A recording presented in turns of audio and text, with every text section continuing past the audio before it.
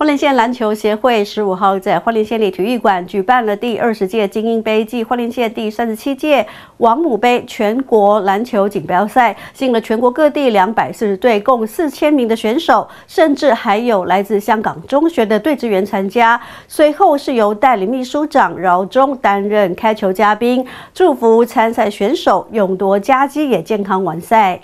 花莲县第二十届精英杯暨第三十七届王母杯全国篮球锦标赛，十五日起在花莲县立体育馆盛大开幕。主办单位努力创新，今年不但新增国小组，参赛队数更来到史上最多的两百四十队，还有唯一来自海外队伍的香港协恩中学共襄盛举，让锦标赛更显格局不同。本届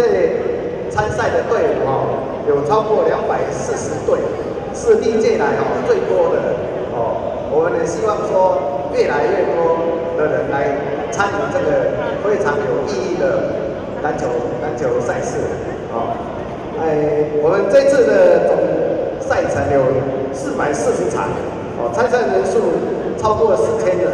哦，竞赛的日期我们是从八月十号开始到八月十九号，总总共有十天的赛程。花莲篮球协会呢，呃，在我们花莲地区呢，啊，由于呢。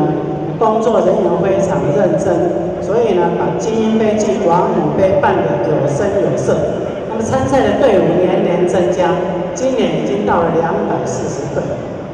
身为主办单位之一的花莲圣安宫，感到非常的欣慰，也非常的感谢。那么也感到非常的光荣。精英杯和王母杯呢，在我们花莲篮球协会呢的大力推动呢，也。鼓起我们花莲这个篮球的运动，我想这样一个很好的赛事，一年一度，我也想各位呢来这里比赛，一定会感觉到非常的诶幸福。来到这里比赛呢，除了赛会友跟各位也可以利用这个比赛的期间呢，哦来花莲好好的做深度旅游。